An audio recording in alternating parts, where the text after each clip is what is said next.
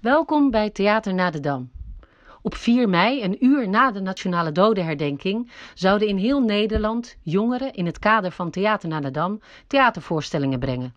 Op basis van gesprekken met ouderen over de Tweede Wereldoorlog. De jongeren van Artians zouden deze voorstelling spelen in het stadhuis van Alkmaar. Door de coronacrisis ontmoeten we elkaar niet daar, maar in de huiskamers. Door heel Nederland luisteren, kijken en lezen mensen naar waardevol materiaal dat gerelateerd is aan de Tweede Wereldoorlog en de herdenking. Stelt u zich dat voor. In al die huiskamers zijn we los van elkaar, verbonden in hetzelfde ritueel. Ook nu.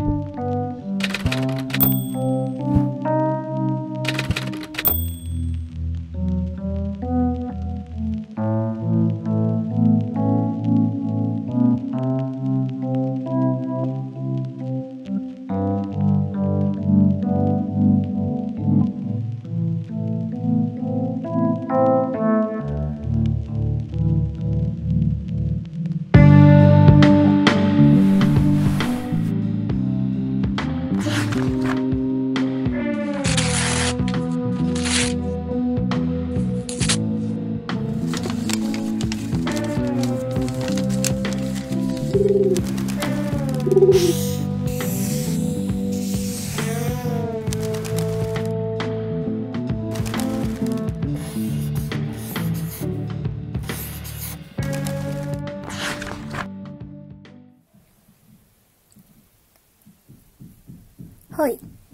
mijn naam is Tessa. Ik ga het verhaal van Ina vertellen. Ina is op 23 april 1940 met een paarse huidskleur en op het randje van de dood geboren in Alkmaar.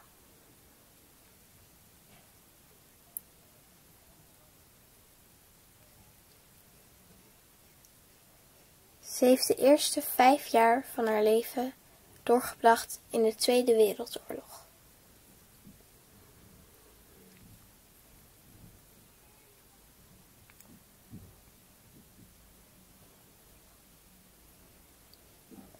Voor het huis van Ina stond het Victoria Park, met in het midden het beeld Victorientje. Daar kwamen ze in de zomer met het gezin spelen. Maar omdat de Duitsers daar bunkers bouwden, werd ze gevraagd om daar weg te blijven.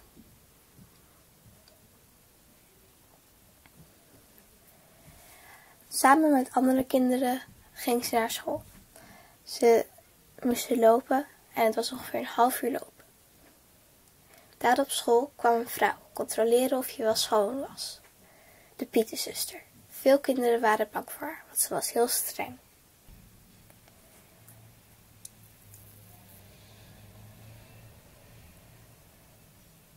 Er vlogen vaak vliegtuigen door de lucht. En er werd ook geschoten.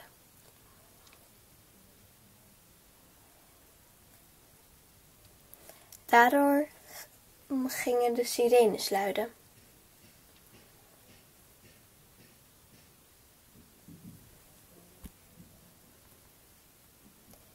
Ina zei dat ze dat geluid nog vaak zou horen en dat ze dan wist dat ze moest schuilen waar ze op dat moment ook was.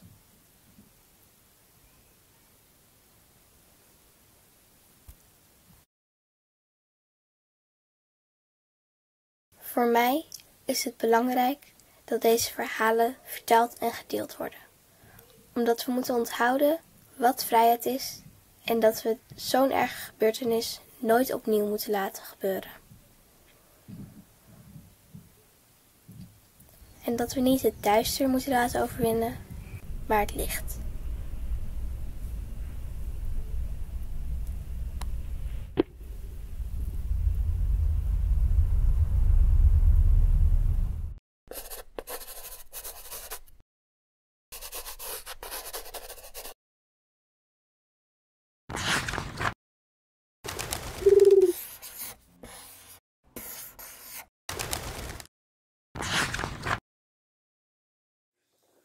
Hoi, ik ben Floor en ik ga vandaag een monoloog aan jullie vertellen die ik zelf heb geschreven over mijn opapa en omama en hoe zij de oorlog hebben meegemaakt. Het heet Dichter bij elkaar. Ze waren nog jong toen de oorlog begon, maar oud genoeg om precies te weten wat er gebeurde.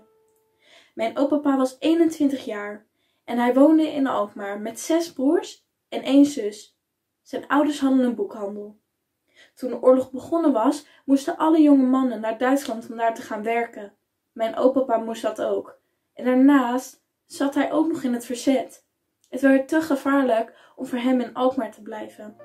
Dus hij vluchtte naar Nijmegen, veranderde zijn naam en dook onder bij zijn tante in de kolenhandel, waar hij overdag werkte. De Duitsers kwamen daar vaak, dus mijn opa was heel erg bang om ontdekt te worden. Hij vertelde vaak dit verhaal. Er was is een dronken Duitse soldaat langsgekomen. Mijn opa en iemand anders die daar werkte, hadden hem naar boven gebracht via een trap en liet hem elke trede eventjes vallen. Mijn opa moest altijd heel hard lachen als hij dat verhaal vertelde. En er is nog iets leuks gebeurd in de oorlog. Hij ontmoette mijn oma. Tijdens een kerkdienst zag hij haar. En hij dacht bij zichzelf, die is van mij. En zo is het dus ook gebeurd. Mijn oma heeft ook de bombardementen meegemaakt. Eentje is haar heel erg bijgebleven. Haar nicht zou gaan trouwen en ze, liet, ze wou nog wat ophalen bij Nijmegen. En ze liet de fiets bij mijn oma staan. En toen kwam het bombardement op Nijmegen. Daarbij is mijn oma haar nicht verloren. En de fiets werd dus nooit meer opgehaald. Dat heeft mijn oma heel veel gedaan. En het was heel indrukwekkend voor haar. Na de oorlog wou mijn oma maar er nooit meer over praten. Als ik dit zo vertel, vind ik het zo mooi, zo krachtig, wat een oorlog dan niet met je kan doen. Ik vind het zo belangrijk om dit soort verhalen te blijven vertellen.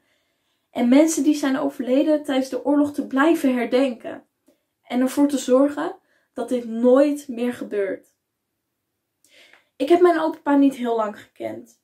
Ik was een paar weken oud, net geboren. En toen heeft hij mij even vastgehouden. Kort daarna is hij overleden. Mijn oma heb ik nooit gekend. En toch voel ik me, als ik dit allemaal zo vertel, hun verhaal, zo verbonden met ze. Ik ben ook super trots dat ik het derde kleinkind ben die dit verhaal kent. En dat mijn oma dit verhaal van haar ouders aan mij heeft kunnen vertellen. Ja. En dat ik dit gewoon kan delen met Nederland. Dankjewel voor het kijken en luisteren naar mijn monoloog over mijn opa en oma. En blijf herdenken.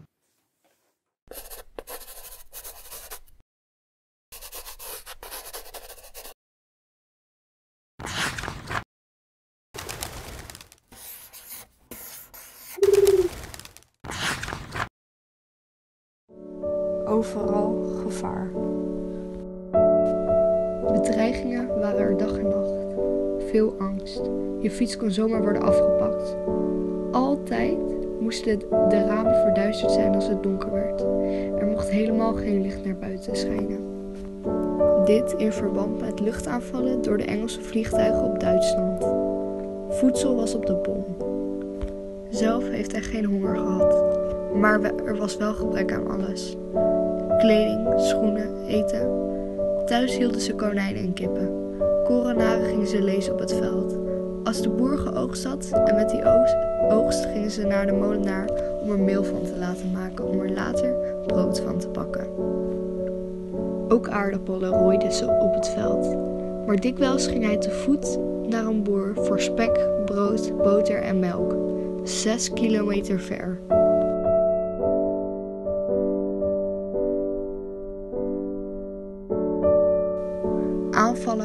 Jachtvliegtuigen met gigantische ontploffingen, vliegende zware bommen. Zolang je ze hoorde was er geen probleem, maar plotseling kon de motor afslaan en dan kwam dat ding naar beneden met een zware explosie. Zelf heeft hij ook zoiets meegemaakt toen hij in het veld lag om aardappelen te rooien. Op ongeveer 100 meter van hem vandaan is zo'n FI naar beneden gekomen en ontploft. Scherf van ongeveer 50 centimeter sloeg vlak naast hem in de grond. Hij heeft veel geluk gehad. S'nachts kwamen ze de Engelsen over met tientallen tegelijk en dan kreeg je luchtalarm. Dan sprongen zij met overhaast het bed uit en doken ze in de kelder onder hun huis.